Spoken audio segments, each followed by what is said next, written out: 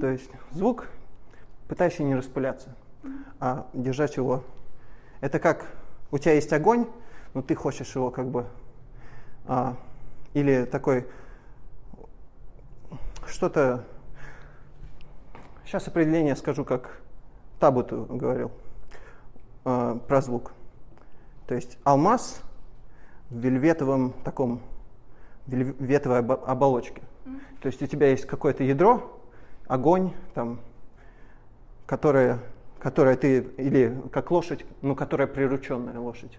То есть есть очень э, такие жеребцы, но у тебя вот есть сила жеребца, но которая контролируемая. Да. И поэтому вот это вот нужно в звуке, чтобы он слышно было, чтобы у тебя был контроль. И это не требует передувания. Точность, как бы ровность звука, но вот. Попробуем отсюда.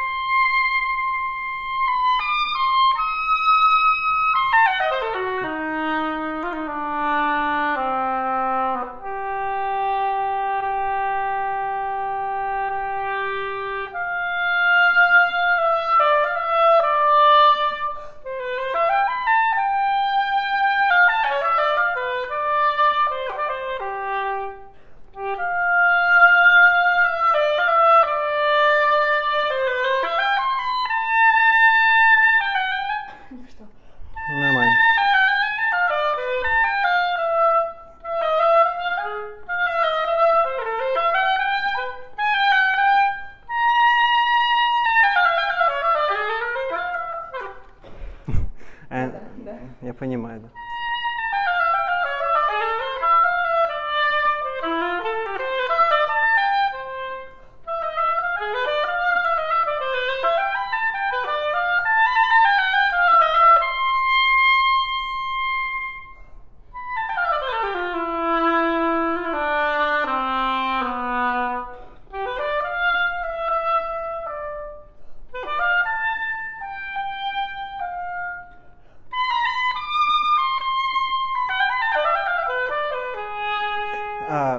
Немножко не хватает прикрытости. Знаешь, когда э, певцы идут э, на верхние ноты, они, у них есть такой, э, ну, можно сказать, купол.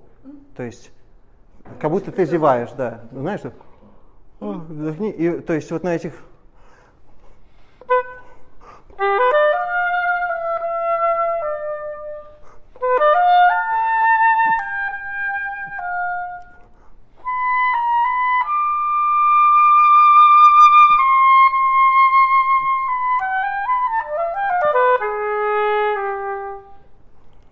Слышишь, как?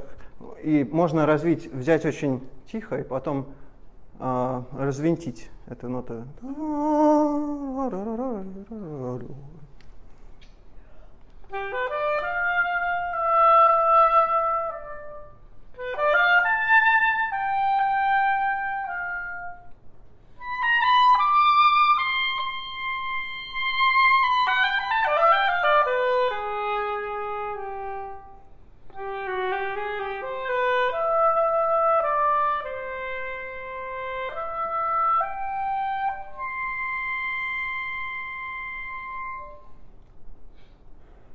Давай дальше.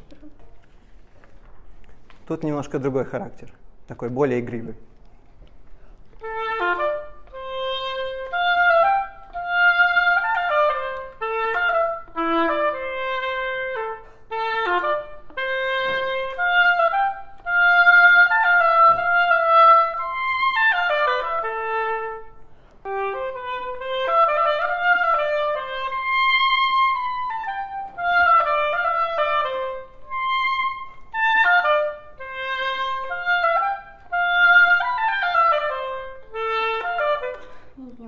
Си бемоль. Си бемоль.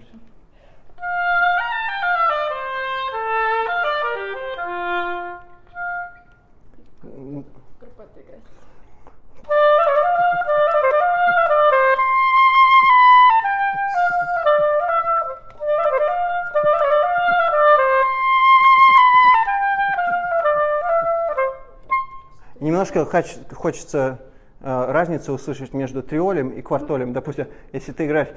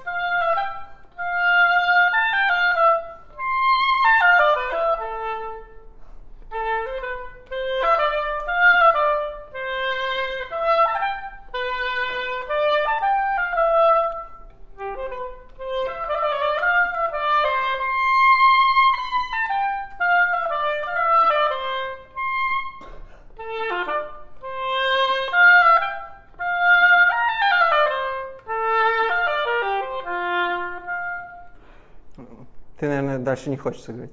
Не очень. Да. Пока не хочется.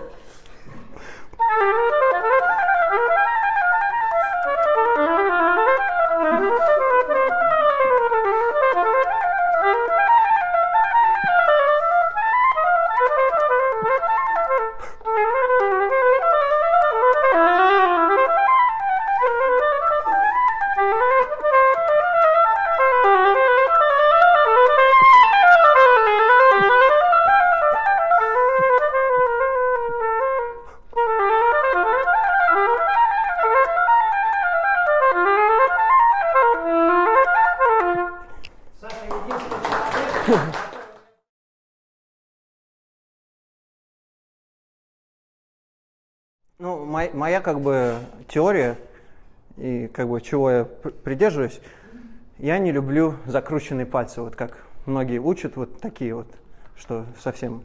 Я пользуюсь только... Почему? Скажу. А, Потому что мы используем раз, два, три фаланги, когда вот так. А когда я играю, я играю как бы технику, вот у меня фактически только одна фаланга задействована. Из-за этого немножко быстрее как бы и бе- беглее пальцы э, как бы в- вот в постановке как бы и тоже они у меня просто лежат, очень должна быть расслабленная рука. А, это очень помогает в- во многих технических элементах. Ты не переигрываешь себе руку, потому что так немножко, а, немножко не, не натурально я скажу, что вот так вот держать и прям как бы ее, ее прям вот так вот выгибать. А, а вот я даже, а, я учился у Алексея Юрьевича, и у него вот, я часто замечал, что у него палец так, и я тоже так как бы начал играть, то есть бол- более как бы, э, да, более ровные пальцы, то есть.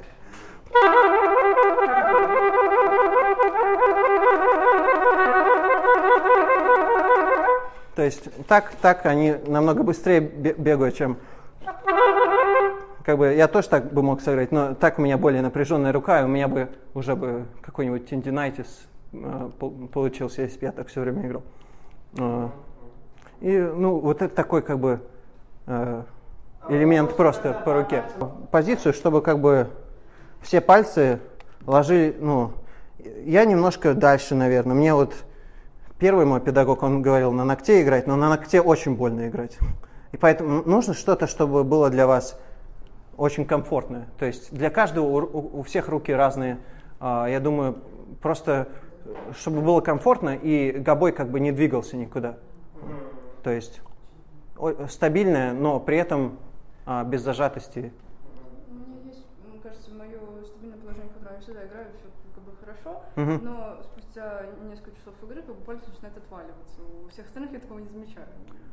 Ну, у меня тоже бывает, если там 8 часов позаниматься, тоже Ну бывает. ладно, не 8, меньше. А, ну, а, ну, для этого, э, я не знаю, еще бывают тоже как бы такие держалки, если у кого проблемы с этим, тоже э, есть, может быть, такие всякие аксессуары для гобоя, э, немножко ниже, немножко выше, может быть, вот такая штучка есть, которая, она вот тут тоже держит э, руку, чтобы, чтобы на палец тоже, ну, если у тебя есть такие проблемы, и тебя это очень сильно как бы напрягает, то можно тоже просмотреть какой-нибудь, может быть, удобный, более удобное, как бы, э, ну, па- купить напалечник.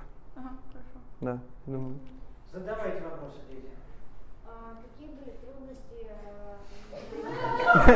Он ждал, он ждал. Ждал. Давай, давай, вопрос. Давай, давай,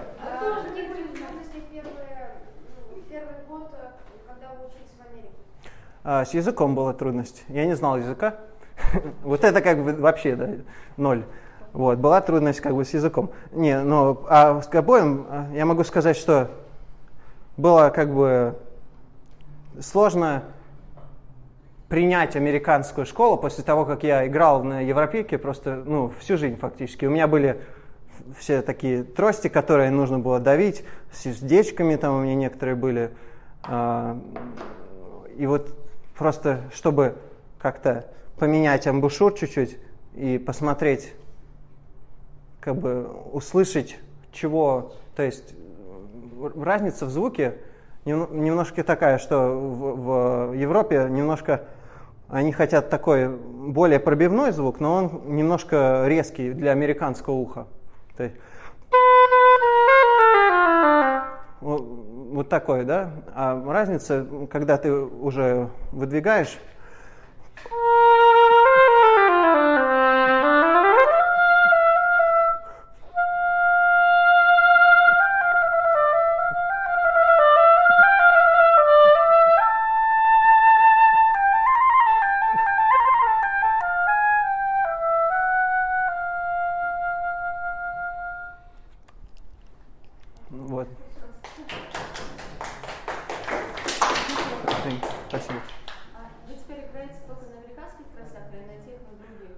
только на американских, потому что уже у меня какая-то убеждение у меня какое-то насчет звука, чего я не могу найти как бы в а, европейских тростях.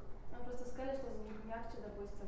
А когда гастролируете или выступаете, то есть ну, всех устраивает, что мягче звук? Или не- А, как бы это уже моя как бы я не думаю, что другим нужно, а я думаю, что как бы как я рассматриваю уже а, гобой с моей стороны. У каждого разное. У Хайнс, Хайнц Холлигера до сих пор играет очень хорошо и в своим, в своей системе.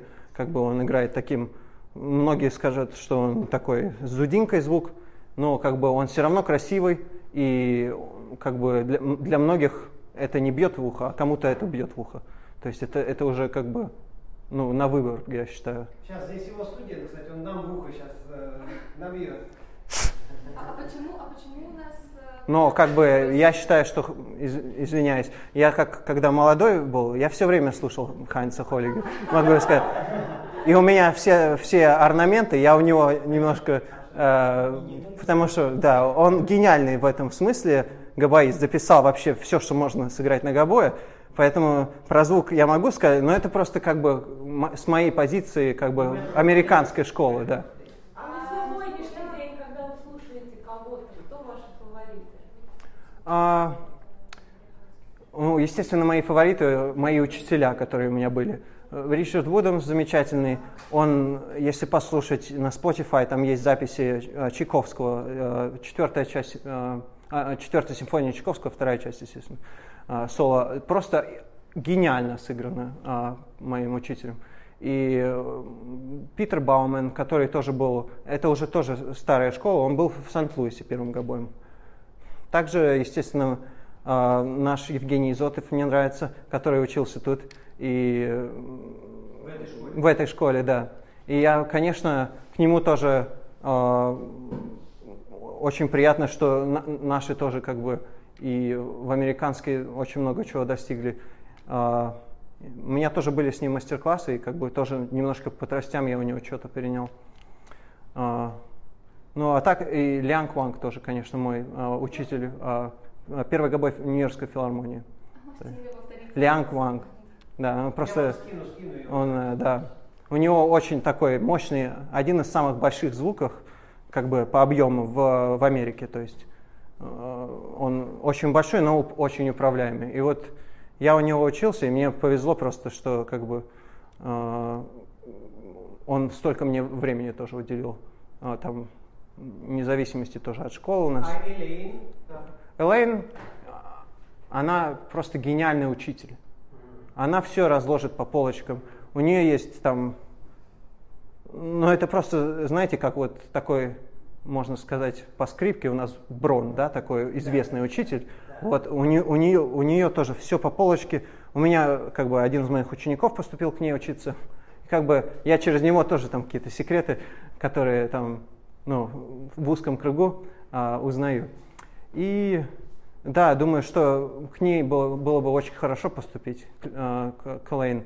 Она, и она очень тоже политическая немножко, то есть своих учеников толкает тоже, это, ну, в какой-то степени это очень хорошо, да, если, ну, если ты как бы с этим не сталкиваешься, когда кого-то другого там толкает. А, вот, ну как бы к ней у меня и абсолютно нравится, особенно ее записи, когда она была молодая. Да, это, м, А извиняюсь, еще, если а, кого-то еще назвать, ну, когда как бы я думаю слушать а, е- европейскую какую-то игру, а, мне очень Рамон Артега нравится. Он какой-то вот для меня ми- микс между, между замечательной, а, замечательным таким бархатным звуком, который я слышу в американской школе, и, и таким, которым европейский звук, который меня как бы не давит мне на ухо. Рамон Артега. Ну давай, еще один вопрос, и, в общем, мы заканчиваем. А вот вы на на вопрос Глеба ответили, что у вас были проблемы только с языком. А как вы общались с учителем? Ну, языком музыки, в принципе. Как бы я понимал номера, то, что он, допустим, там по темпу мне что-то говорил, э, ну, итальянский, естественно, долче, там, э, такие слова, которые, э, понятно, там, тут быстрее, он мне что-то там, типа, аллегро, там, так говорил. Поначалу было вот так, как бы мы через, э, фактически, немножко итальянский такой микс, итальянский инглиш. Вот. А в Европе кто-нибудь американских тростях? А, у, у нас э, играет Денис. Ну. Вот. Кстати, нет, э, весь Большой театр играет. Завтра вот парень будет, у него такая как бы полуамериканская заточка. Я могу сказать, что, вот, допустим, я у о, Евгения Алешина брал трости. У него какой-то, я у него как бы все время брал трости до того, как я переш- приехал в Америку. И у него была такая достаточно длинная заточка, но как бы вот тут у него уже была уздечка. Ну да, это такой. То есть она б- она была какой-то- Но, но Лысенко, вот самый такой, Мгм. основной, Ага. в принципе, Соня, и вот завтра парень будет здесь преподавать. Они играют на такой, такой уже, как полуамериканский. По- ну да, там А в ВСО играют на американке. То есть есть люди, которые у Гергиева там один э, педагог играет на американке. Но как бы э, я на это смотрю, Америка просто дальше, а Европа здесь ближе. Поэтому очень э, ну, как бы большое влияние Европы, а Америки меньше. Но э, это в Москве как бы не так сильно. В Москве очень, в Башмета все играют на американке, в Большом театре, опять-таки. Ну, в Москве много, а в Питере нет. Питер более европейский город. Там, там и, и инструментов разных нет. Если в Москве все марки инструментов э, представлены, то в Питере только и короткая заточка. Там нет. Вашингтон Барелла тоже играет на американке. Э, В Германии Вашингтон Да. Барелла, студент э, Леня вчерашний играет на американской заточке. На этом, я считаю, мы завершаем. Александр, браво! Ну, все, спасибо.